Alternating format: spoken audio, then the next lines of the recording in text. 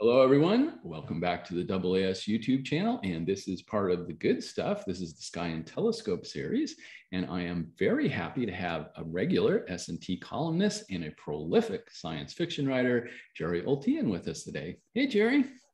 Hey, Frank. Thanks very much for having me. Well, thank you very much for talking, uh, being willing to talk about your column. And uh, it's fascinating stuff. So, um, Jerry, where, where are you located at? I'm in uh, Eugene, Oregon, Pacific Northwest. Mm-hmm. So, uh, as you might suspect, it's uh, raining out now because it's autumn, and that's what it does in, in the Pacific Northwest in autumn. Yeah, so we're recording this on September 27th, 2021, and we are post equinox. Yep. And boy, I tell you what, the season's hit with calendrical accuracy out here. Ooh, uh, awesome. Yeah. So, uh, yeah, even though we got a new moon coming up, or probably because we have a new moon coming up, it's going to rain for the next week uh, uh. So I'm in Phoenix, Arizona, and we have essentially two seasons, hot and less hot. Um, and uh, today it actually rained a little bit in, in Phoenix, so we're we've broken the summer high temp. So we'll, we'll go into the uh, we're in the low 90s, upper 80s today, which is uh, quite pleasant for for Phoenix. So very cool.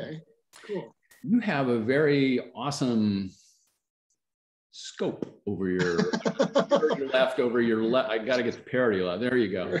Oh, what, what is that? Well, okay, I confess to to uh, planting that back there in the oh, background. Shocking. because it's my uh, it's my latest project. Cool. One of the one of the dangers of writing a column on uh, everybody else's telescopes is when somebody has a really awesome project, I want to do it myself. Ooh. And so uh, one of the very first columns I wrote back in 2016 was about a travel scope hmm. that fit in a little box, like uh, 10 by 12 by 6, right? And uh, one, I've been wanting to build one of those for years. It took me about four and a half years to build up my courage. And then it uh, took most of the summer for me to actually put it together.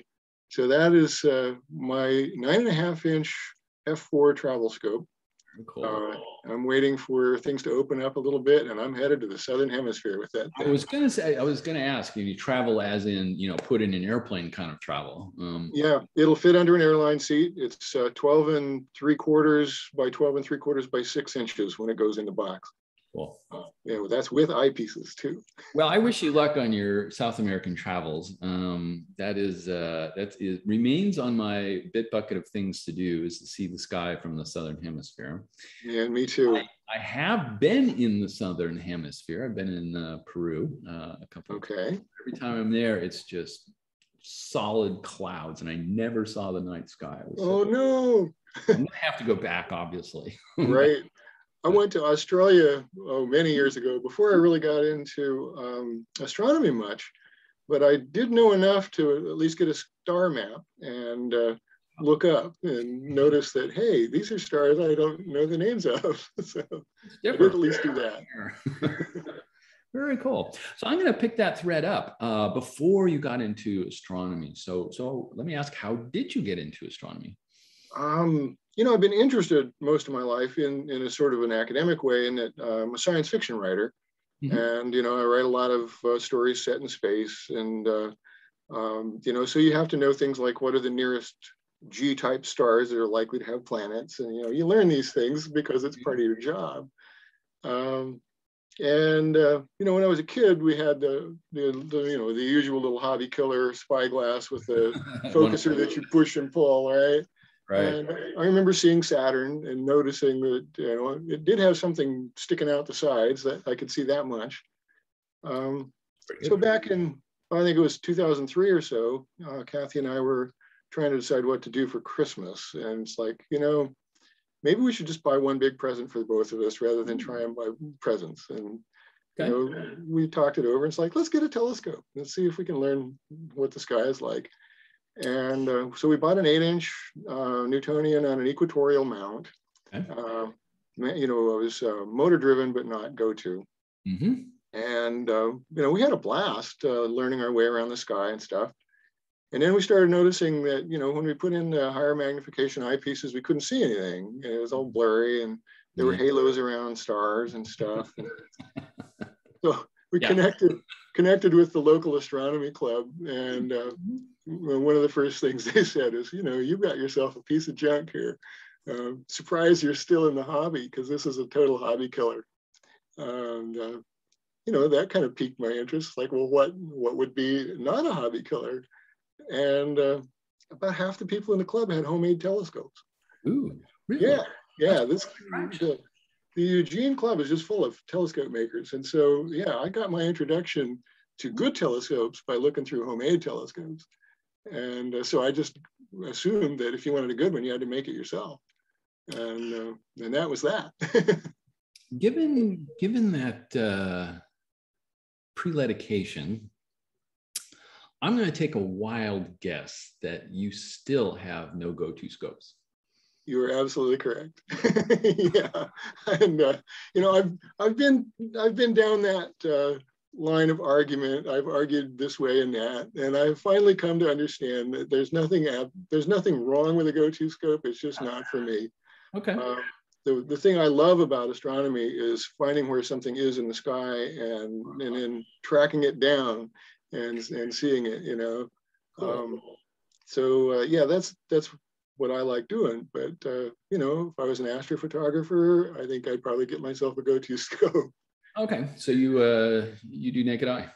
Yeah, totally naked eye anymore. I was I got into film astrophotography. You know, by, starting in 03, that was kind of at the beginning of the digital age, yeah. um, the end of the film era, and uh, you know, I had a film camera and I stuck it on the telescope and uh, did some guided shots and had some reasonably good uh, results but uh, I realized that I was spending more time fiddling with the equipment than I was doing astronomy. Yeah. And so, you know, it was a question of, am I going to move on into the digital age with digital photography, or am I going to just go back to visual observing? And I chose visual observing, and that's been that way ever since. That's very cool. Very cool. Um, before we get into the article, let me ask you: Do you have any uh, adventure stories from the field? well, talking about this telescope behind me, I had an adventure just a couple weeks ago. Oh. Took it out to test, and uh, being a travel scope, you know, you can't get the altitude bearings um, large enough diameter to have the center of gravity right in the center of the altitude bearing. So you have to you have to balance it with bungees, right? Yeah, yeah. Yeah, it's nose heavy, and uh, I uh, had my heaviest eyepiece in there, and I have I'm using rubber bands for bungees and uh, you know they work really well. Mm-hmm. But what I didn't understand was when rubber gets cold, it loses its stretchiness. Mm-hmm. And oh. so my telescope that was perfectly balanced in, in my house was a little nose heavy. I turned away to get uh, to actually to look in my uh, my Sky and Telescope Pocket Sky Atlas TM no no no plug, yep. And uh, I heard a little clunk behind me, and uh, I thought, you know, my uh, observing companion must have must have tripped over his chair or something, right? Didn't think much of it, and then I heard another clunk, Uh-oh. and you know, yeah, like and two or three seconds pass, and another clunk, you know, and finally I turn around and look just in time to see my telescope tipping over forward and uh, falling right off of the table that I had it on. And then, of course, the bungees pulled the rocker box and the ground board down on top of it. and oh, and then I heard that sound that nobody wants to hear, and that's the sound of your primary mirror landing on the gravel because it had busted loose from its mount, face down on the gravel. And so, yeah, there's three of us. Uh, we all come rushing over to look, and uh, we're standing there with our little red flashlights, just looking at the scene of the crime, and nobody wants to touch anything, right? Mm-hmm. I'm studying this, trying to figure out what happened. You know, I'm just looking at the aftermath, trying to back it up in my mind to figure out what in the world happened. And uh, the good news is that the primary landed on one piece of gravel and uh, there's a little divot about one millimeter square. Yeah. So, yeah, you know, a piece of bird poop would be uh, worse than that. So, oh. so no, no damage to the primary, no real damage to the scope and I uh, I realized what it had done is uh, it had rocked its way forward enough to where the altitude bearing had fallen off of the Teflon pad, mm-hmm. and that extra little bump had just pitched it forward, and then it just went on over and fell out of the rocker box and down it went. Boom. So I put I put a, some lessons out of that one on um, rubber bands on how we can use yeah better, yeah better system. I'm still using rubber bands, but I'm being much more cautious about uh, making sure that it's balanced at any given moment. Uh, that's that's yeah. And uh, and I put stops on it so that now if the altitude bearings do go to the end, they hit a stop. Yeah, good. Okay. And I also have a brake so that I can tighten up the handbrake when I take an eyepiece out. So uh, cool. theoretically, I solved that problem. We'll see. Sounds like you took it out more than once after that. So let's go ahead and get into this very lovely okay. Sky and Telescope article. Uh, and this is from the uh, 80th year anniversary issue. And uh, where we are by Jerry and to build or buy. And Jerry, take us away. Okay. Uh, well, let me tell you the, the, story of how this came to be, and that is uh, um, my editor, Sean Walker, uh, emailed me and told me, you know, we're coming up on our 80th anniversary issue. And uh, used to be the case that uh, it was much cheaper to uh, build your own telescope than it is to buy one.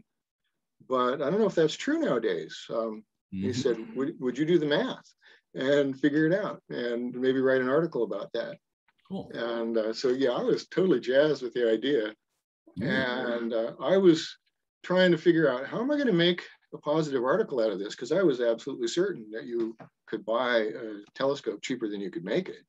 Um, you know, I mean, they're 400 bucks now, right? know, yeah. For a good one. Uh, so, uh, you know, I started working my way through it. And uh, the first thing I did was I decided we're going to talk about an eight inch uh, Newtonian uh, Dobsonian mount. Mm-hmm. Uh, you know, that seems to be about the most bang for your buck. It's uh, the size telescope that I would call a real telescope. You're not likely to trade in an eight inch on a larger telescope, at least not in your first couple years. Mm-hmm. You know, it'll take you a while to get tired of it. So I thought, okay, let's use that as our benchmark. And uh, I've always been fond of the Orion, uh, uh, what SkyQuest Dobs. Mm-hmm. Um, I think if you shove forward a page on page two, there's one uh, there's one uh, right there on the, yeah, that's, yep, that Orion SkyQuest Dob there. That's my benchmark. I figured, okay, let's see if we can create our own telescope somehow, uh, you know, similar to that, one that would be equally functional. Mm-hmm. And uh, went online and discovered that that was going for 450. It used to be 375.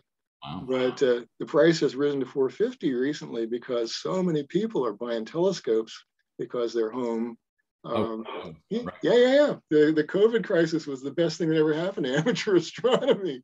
Yeah, at least to, to the manufacturers of telescopes because they're selling telescopes like hotcakes. Yep. So price was 450, and that that kind of um, you know that moved the barrier high enough to where now I felt like okay, now we ask we have a contest here. It might actually be possible, and uh, so. Uh, uh, you know, I started doing the research and figured how much does it actually cost you to like grind your own mirror and uh, mm-hmm. and that sort of thing. And um, um, you know, one of the things that uh, I discovered is kind of sad. Uh, going back up to the beginning, let's see. Oh no, no, never mind. It's on it's on the third page or so. Um, uh, there it is. Yeah, primary primary mirror there. Um, mm-hmm you can make your own primary or you can buy one and it turns out to be almost exactly the same price. It's going to be about 250 bucks either way. And so it becomes a question of are you the kind of person that wants to make your own mirror or not? And, uh, you know, and, and what focal ratio? If you wanted to make a short focal ratio mirror, it'd cost you a little bit more to buy it. Um, on the other hand, it'll probably take you a lot more time to make it because especially if it's your first one, you're going to have to learn how to parabolize a short mirror, and those are a lot harder. Um, yep. So, but uh, turned out, you know, you can make the mirror about the same uh, for about the same as you can buy a mirror. So that was good news. Um, and uh, go ahead. Let me do one thing. I want to go back up to this uh, this front picture here. Uh, uh, all of these or some of these are homemade? Let's see. The ones on the ones on the left are all commercial telescopes. You've got uh, the um, actually, yeah, that the one that you're, the one in front, the kind of light blue one there, that is uh, an Orion SkyQuest Dob. Um, I borrowed from my neighbor actually. and uh, you know, you behind it, you've got a Celestron Schmidt Cassegrain. Yeah. Um, little short tube 80 over there, the white one. Mm-hmm. Uh, Galileo scope behind it, the uh, the one that was uh, put out um, a few years ago as a, a very inexpensive kit. Um, and then of course the Astroscan down on the bottom. And uh, and then over on the right, if you go to page two, you'll see over on the right, those are all homemade scopes. Okay. Um, yeah, but uh, I should point out the uh, the person that is being uh, uh, more or less assaulted, perhaps. yeah, that's my wife, Kathy. And uh, Kathy, come here, come over and lean in. Sure. Hello, Kathy. Hello, Frank. How are you? I am doing super duper today. Great. You, you take a great picture there. Did you did you eventually make a decision on the left or the right? Oh, I'm still dithering. You're still dithering. Very cool. Thank you. So the fun bit was, you know, we set up all these telescopes and we put uh, all the commercial scopes on one side and all of the homemade scopes on the other side. Mm-hmm. And uh, we got this, you know, they started kind of taking on a life of their own and we started piling them all together. And uh, we aimed them toward the center where we figured Kathy would stand. And I stood back with the camera and I realized they look like they're alive and they look like they're they look like they're waiting for a decision.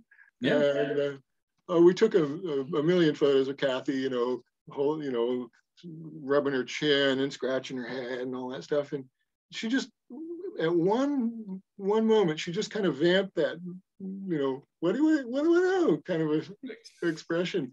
And that was it. I snapped that photo and we looked at it on the screen. It's like well we're done you know and, and uh, when i sent the photos to sean my editor uh, you know along with the article i didn't send him any choices for uh, the front spread. I just said this is it you know there's no question at all. This is the photo and, uh, mm, you know, I, I, just thought it illustrated the point so well. You know, you've got the commercial scopes on one side, the uh, the uh, mm-hmm. homemade scopes on the other, and uh, you know, what which do you choose? Yeah. And, and actually, the answer is, you know, almost all of the scopes. The only one that's not our telescope is the uh, Orion Dob. Mm-hmm. Um, and I have owned the Orion Dobs before, but I keep winding up giving them away. so they're just such great telescopes. You know, somebody says, I need a telescope. It's like, oh, I got one here, you know, and off it goes. Nice. Nice. So yeah, sw- switched up to the next page and I'll show you some of the others. Uh, mm-hmm. Yeah. Yeah. Actually, I guess they're, uh, yeah, the only one that's really obvious is that great big one. That's a 20 inch scope. Okay. Um, which I did not actually make. I, I bought that from Mel Bartels, who made that. He's a master telescope maker out here in the Pacific Northwest. And uh, he wanted to make a, 25 inch telescope. And uh, so he, I, Kathy and I were looking for a big scope. And I was telling Mel, you know, I, would kind of like to buy a 20. And he said, why don't you buy mine? And he said, I need the money to build my 25 inch. so, uh, mm-hmm. so we did that. And so I've been using that scope a lot and, uh, you know, enjoying the heck out of it. Cool. And of course, every time I drill a hole in it, Mel winces and like, oh no, you know, you're ruining my telescope. And it's like, dude, it's my telescope now. uh, indeed. I tell people, you know, you don't really own a telescope till you drill the hole in it. there you, you go. You know, when, you when you started modifying it, now it's your telescope. Oh, awesome. And we covered some of the mirrors, and there's the. Uh...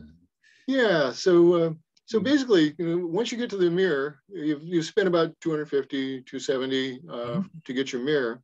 Mm-hmm. And uh, and uh, so you're still kind of even odds, you know, uh, buy or build, you, are at the same price point. And, uh, you know, I, I have a, a friend who, who said, I don't hate anybody enough to teach them how to make a secondary mirror. So, you know, we uh, we almost all just buy our secondary mirrors. It's so much harder to make a flat mirror than it is to make a spherical or a parabolic mirror. Mm-hmm. Yeah, so you know, again, you know, you can buy the secondary, uh, and they're relatively cheap. You know, 30 40 dollars, fifty dollars for the you know tenth wave uh, enhanced coated one, you know. Yeah. Um, but then you get into the part where you can really start saving some money. Um, you know, uh, commercial scopes probably gonna have a metal tube. You know, Coulter used to use cardboard tubes, but that was a long time ago. Mm-hmm. Um, most everything's in a metal tube, and you know those are expensive. Uh, cardboard tubes, on the other hand, are dirt cheap. You know, 10, 11 bucks will get you a sono tube, um, and uh, you know that's well, actually a pretty darn good uh, housing for an eight-inch mirror. Um, it's thick, quarter inch thick, uh, rigid as all get out. Your scope's not going to flex uh, going from zenith to the horizon. Yep. And so yeah, you know, I just chose okay, you know, 10 inch so sono tube for an eight inch mirror. Uh, turned out to be eleven dollars. So yeah, not not a big deal. Can't beat that. No, and then uh, you know, then you go to the uh, to the base. Uh, you know, the the plywood for the base uh, and the mirror box. Um, plywood's gotten really expensive. Also, you know, one of the other effects of the COVID uh, pandemic was everybody stayed home and everybody thought, oh, I'm going to finally do that remodeling project I've been wanting to do for 20 years. Right. And the price of lumber just went through the roof. Yeah. So, uh, yeah, um, so plywood's not as cheap as it used to be, but it turns out, you know, you can still buy an eight, a four by eight sheet of um, what's called AD grade. It's A grade on one side, so it's going to look really nice on the outside, and the inside is going to be horrible. But nobody cares, right? So, yeah, and you can buy that for about 50 bucks. Okay. Uh, so, uh, yeah, and you can get the entire uh, wooden parts of the telescope uh, out of one sheet of plywood. Oh, yeah. Uh, and in fact, you'll have some left over. So in a way, I, I kind of I cheated a little bit by saying, well, you're not going to use the whole piece of plywood. So, um, you know, I, I said you're going to use about uh, two thirds of it. So 33 bucks instead of 50 bucks for the plywood. But this means you're going to have to build another telescope to use that savings. There you go. so there you go. You got to figure that in. Uh, let's see. Then from there, I guess uh, you know we got. Um, let's see the eyepieces. I basically said, you know, steal some from a pair of binoculars. That's what John Dobson did. Mhm. And, uh, you know, so you can get a pair of binoculars at Goodwill for 10 bucks. So I figured, all right, 10 bucks for the eyepiece. Um, and uh, let's see. Oh, yeah. Secondary mount down there on the left. That's uh, Yeah. there's, that's a a, cedar shake, a cedar shingle uh, split. And uh, the wooden part is, uh, a, you know, piece of a, a wooden dowel, probably the handle of a rake or a mop or something. Yeah. Um, so you can make your secondary mount for free. I mean, you, you can find stuff laying around. If, you don't want to use cedar shingles, you can use a hacksaw blade or, or uh, you know, somebody gets something delivered on a pallet. You've got those metal packing strips. Those make great secondary spiders. So I figured, okay, you can scrounge that, so you don't have to pay anything for your for your spider. Okay. And uh, scoot over to the other picture just beside that. There's your uh, there's your fancy mirror cell Mhm. piece of that same AD grade plywood, three bolts sticking up from below and uh, padded with pieces of masonite so that the bolts don't actually just clack against the glass. That would be no good. And uh, the masonite's held in place with a little sheet, sheet of cardboard cut from a cereal box. Mhm. So, uh, you know, cost of the bolts is about it because you already bought the plywood. And, uh, and then up in the tube there, you can see the stops that hold the uh, mirror to keep it from falling forward. Mhm. Um, that's one of the simplest and best um, mirror mounts uh, I've ever run across. And again, you know, stolen straight from John Dobson's design. So it's been thoroughly tested many times by countless telescope makers. Um, so yeah, you know that uh, both ends of the telescope uh, of the OTA um, essentially free. You know, just scrounge the parts, and uh, and you can make yourself a secondary spider and a uh, and the uh, actual mirror cell. Mhm. So let's see, what's on the next page? I've actually forgotten where we went from there. Oh yeah, focusers. Yeah, and yeah, this is the this is the moment where you know if you buy a nice Crayford focuser, it's going to be about 150 bucks, and uh, you know that threw us way over the 450 dollar mark. Yep. And so it's like, okay, well, make your own focuser. And this is where it gets kind of fun. I mean, you know, not very many people actually make their own focusers. uh, but I've done it a couple of times, especially when I needed an extremely lightweight uh, upper end. And you know, so I I learned how to make really lightweight focusers, and and you know I've I've got instructions for how to do it on my website. I wrote an article. Actually, Gary Seronik wrote the article about it back when he was doing the telescope uh, workshop column before I uh, before I got the job after he moved on. Um, so yeah, he wrote about that back in one of the early issues. Uh, and uh, you know it's still there and it's on my website how to build a very basic um, Crayford. It's a one speed, but uh, the the little uh, drive shaft there is so small in diameter that it's a, basically a very very fine adjustment uh, focuser, especially if you use big knobs. You know, the bigger the bigger the knob, the easier it is to get a fine adjustment. Yep. And I will point out that that uh, that drive shaft is in fact a knitting needle that I got from Kathy. So thank, thank you for the dry the drive shaft there, Kathy. You're welcome. I hope she got enough for knit, knit, uh, knitting. Oh Um, yeah, well, We'll, uh, we'll put a we'll put a link to your website in the description below the video. So those are oh yeah, sure. That'd be great. It's just jerryoltion.com, but you got to learn how to spell Oltion, which is always a trick. so uh. O L T I O N. I'm I'm used to that now. I finally got it right after about fourth or fifth grade. Oh, so yeah, then the other thing would be a Finder, and uh, you know, again, you know, um, you can buy a Telrad or a Rigel, and they work great. I love them, uh, but you can also make your own Finder. And in order to keep the cost down, that was what I suggested in the article. You know, make either um, the the little spindly one on the stick is what I call a split pupil finder, Okay. uh, where you're looking through the lens at an arrow, and the only function that the lens does is it makes the arrow focused on infinity. Um, you know, it's like holding a magnifying glass up to something, Mhm. uh, you know, to get a better look at it. That's what you're doing with the arrow. It focuses on infinity. So when you move your head around, the arrow stays put. And then you just look over the lens at your target. And uh, it's called a split pupil finder because you've got light coming through the lens at- into your pupil and into your eye and coming over the lens into your eye at the same time.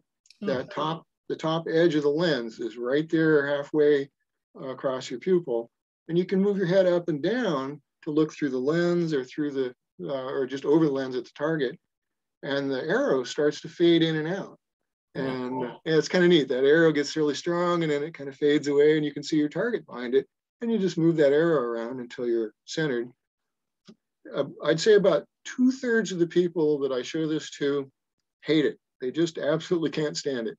And yeah, because it's kind of hard to it's hard to get it's hard to figure out. It's hard to get your eye placed right. Um, it's hard to actually kind of comprehend what you're doing with this thing. Um, but it is. but- It has but- fairly simple. yeah, it is. It, that's the thing. You know, it- it- it's it's one of those things you you either get it or you don't. And if you do, you love it. And and if you don't, or you know, if you just uh, don't have any good luck, if, you know, aiming it at your target. A lot of people get the concept and they still don't have very good luck with it. So, so you know, it's a it's one of those deals. I think everybody ought to try it and see because if you're the kind of people that love it, you're going to really love it. Um, but there's the peep sight finder there on the right for the people that don't like the split pupil. Mhm. the peep sight is so intuitive. I don't know anybody that hasn't figured out how to use that. And and they work really well too. You can get within half a degree with a peep sight finder, Mhm. and uh, that's just made with wooden lath. Um, you know, and a piece of uh, address label up front to make a, a little white target so you can see it in the dark. But uh, those finders are really simple to make, and they they cost you nothing if you've got a scrap wood pile. Which you did. yeah, you know, you can always you can always cut a little chunk of that plywood that you got left over if nothing else works. Yeah. Yeah. So uh, I think let's see, let's back off and see what else is on that page. I think I, I got ahead of myself with the mount. We've already talked about that. Uh, yeah, that's the uh, the uh, rocker box on its ground board down there below, Yeah. just made out of out of uh, plywood. You know, and you can get fancy and make yourself an eyepiece rack like I did there. I didn't include that in the price, but uh, you know, another dollar or so for the plywood. But the end result, uh, I was really excited. The end result, I came in at $398 for the homemade telescope. And $450 for the more or less equivalent uh, commercial telescope. Um, surprised the heck out of me. I was I was really sure that uh, you just couldn't make an eight-inch Dob cheaper than you could buy one these days. Um, so it was it was kind of exciting. It's like okay, um, manufacturing has has gotten to the point where you know we can manufacture you know and mass produce better mirrors. Mm-hmm. Um, you know, I got to say, Orion's mirrors are are superb. I I've not ever found an Orion telescope with a bad mirror. You know, so whatever they're doing, they're doing it right. And I have produced many terrible mirrors and had to re, redo the parabola several times before I got it right. And so it's like, you know, if uh, if that's not your thing, if making mirrors isn't something you find fun, then just buy a mirror and make a telescope with that. Uh, you can still get it in just just under the wire. You can make it cheaper than uh, than your uh, commercially uh, available version. Mm-hmm. But uh, you know, it, it's kind of neck and neck. It's $398 versus $450. Although the price of the commercial scopes will keep going up uh, as demand outpaces the supply, right? Uh, I, in fact, I think there are, by the time the article was published, it was already like uh, $480 instead of $450 uh, for an eight inch Dob. Now you're getting good. Um, yeah, and I think as you you head off here on the the obligatory cat. We, we, what was that? Oh, there's the, the, the, obligatory internet cat just came through. Yeah. All right. Well, now it'll be a very popular video because we have an internet cat. That's right. Yeah, the readership just went up ten percent. Yeah. Um, so we did. We covered pretty much the eight inch was sort of the the standard, but um, you know, is is the general sense that uh, as the size gets bigger, it's more competitive to make it yourself versus buying, and also the other way, smaller. Uh, mm-hmm. you know, small travel scopes. Is that uh, uh, something that's cheaper to make or to buy? Well, here's the deal. Yeah, the, when you get into the large apertures, for sure, it's cheaper to make it. Um, you know, I, I I did the math again for a 16 inch Okay. Uh, and figured, uh, you know, what would it cost for the blank and the coating and stuff. And, uh, you know, it turned out uh, you can do a 16 inch scope for about 1500 bucks.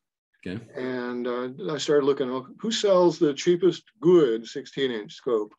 And um, came up with the Meade Lightbridge, uh, and that's 2,200. dollars mm-hmm. So the so the difference actually, you know, the, the gap gets wider and wider the larger the aperture. Um, but also, you know, the difficulty of making it gets uh, uh, more and more as well. So, you know, you have to factor in your time. And obviously, none of my calculations uh, paid a wage for my time. Right. And, uh, you know, and I don't think it should because, uh, you know, if you're building a telescope, you should be doing it because you want to build a telescope, you know, because it's fun mm-hmm. and you're enjoying the process. Mm-hmm. Um, the experience yeah yeah just for the experience of doing it and uh, you know and the joy of looking at something in the sky through a telescope that you built yourself it, it is a significant difference um, you know i have i have lots of commercial made telescopes that i take out observing from time to time and i have my own homemade scopes and i have to say i just i enjoy looking through my homemade scopes more uh, mm-hmm. even if I have one that you know the mirror isn't quite as good as the commercial scope, um, I still enjoy my own scope. And it's, it's just the way you're built, I think. Satisfaction. Yeah. And then I guess, okay, on the other end of the scale, the, the little ones, the, you know, like um, a short tube 80, for instance, uh, you know, an 80 millimeter F, F5, um, so it'd be a 400 millimeter focal length. Uh, in the same issue, I've got uh, an article um, just, a, just a couple pages beyond this one, in fact, uh, that talks about making a short tube 80 um, with a lens that you can buy from uh, surplus shed. Uh, turns out, you know, the same uh, run on telescopes that uh, has raised the prices everywhere ran them out of lenses. So at, at the, la the, last I checked, they were out of stock, but uh, but the owner says they're they're you're getting another batch in soon. So you can buy a lens um, and it's a doublet. It's an achromatic doublet lens. Uh, you can buy it for like forty-two dollars, and uh, you know, and you can use a, um, um, what is it, galvanized tin flashing for the body, mm-hmm. and uh, you can even buy a little plastic focuser also from uh, Surplus Shed. And, uh, you know, all together, uh, let's see, well, I, have got the article here. let, me, let me flip ahead and see what, what was my last, what was the number I came up with? Um, 200? Um, no, it's less than 100 bucks. Ooh, wow. Yeah. 80. Uh, you know what? I, would have to read the article to find the actual number. Well, and there you go. Somebody there, there's, there's your key I wrote this a couple months ago, so it's like I've totally forgotten the number, and I can't find it easily. Okay. But uh, but yeah, you know, less than 100 bucks, and uh, you can make yourself a little short tube 80. And uh, I think they they go commercially for a couple hundred dollars. Mm-hmm. And uh, I will point out that you know the cheap plastic focuser is not as good as the one you're going to get on a genuine short tube 80. And the lens itself, maybe, maybe not. Um, I, I bought, I think, four of these lenses. Three of them were really good. One of them not so much. Um, you know, uh, you can buy lenses uh, direct from uh, China for, oh gosh, $20. Uh, you know, uh, air-spaced doublet, but you have to make your own cell for it and stuff. Mm-hmm. So, you know, I mean, you can get the parts really cheap. Um, but, you know, you get down down to that level, you know, a couple hundred bucks will get you a um, StarBlast, four and a half inch StarBlast. Um, pretty good scope. You know, I'm not sure that I want to go to the trouble to make a four and a half inch scope if I could buy one that good for a couple hundred dollars. Um, you know, again, the only reason to do it is because you want to. it's a uh, labor of love. Yeah, that's it. And and that's the thing I try and emphasize in my regular monthly column too. Is uh, you know, we're not necessarily building these things to save money. We're building these things because we're having so much fun at it. Right. Applying your skills, learning new skills. It's it's it's a yeah. process, and that's invaluable. um, cool. Well, Jerry, thank you very much for walking us through that particular uh, 80th anniversary issue on To Build or To Buy. You're welcome. Um, and and uh, you know, you've got a regular column. So where uh, uh, where where do we go from here? Uh, where does the community go over the next five years? Might there be some some interesting articles coming up in S&T or? Oh yeah, oh yeah. Um, let's see. One thing that I'm working on right now is another article on uh, grinding your own mirror. Mm-hmm. Um, turns out it's been about a decade since we've had an article in the magazine about mirror making. Mm-hmm. And uh, there have been some advances, uh, mm-hmm. believe it or not. In the last 10 years or so, there have been quite a few advances.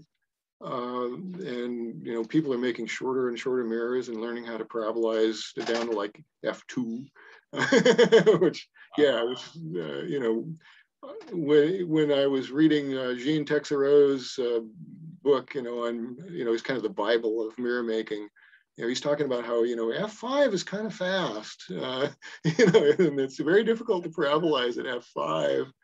And, you know, now we're doing half that, F2.5. People are doing that all the time.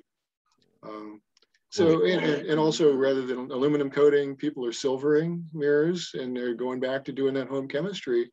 So in a way, you know, we're going full circle. We're going back to home silvering um, mm-hmm. to, uh, to cut costs because mirrors are getting bigger and bigger and bigger. And coating a 30 inch mirror, first off, find somebody who's got a coating chamber that big, other than Kitt Peak.